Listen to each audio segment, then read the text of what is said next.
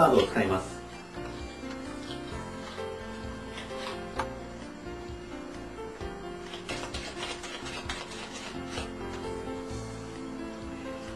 一番上のカードは、えーハートのジャックです。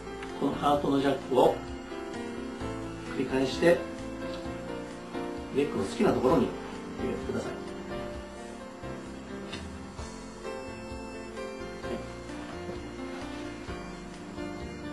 そして数回、えーカットします。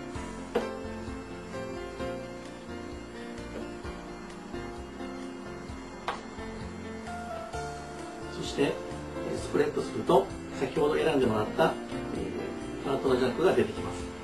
ここからカードを5枚使います。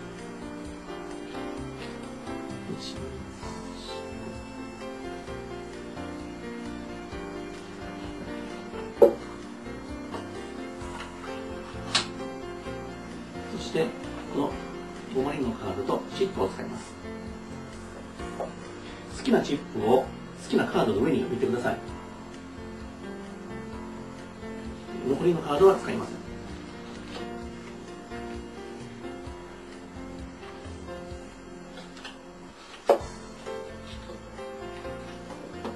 そして、えこれが、え予言です。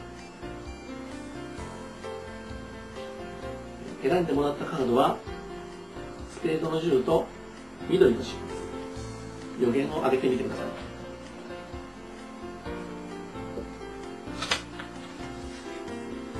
一致しています。他のカードはチップは他の色。です